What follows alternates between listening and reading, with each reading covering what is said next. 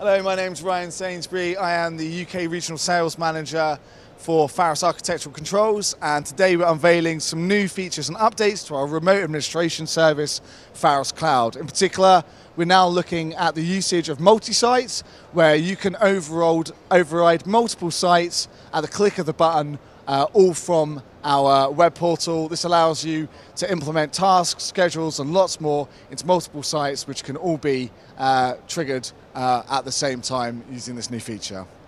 Uh, for more information, feel free to check out pharoscontrols.com.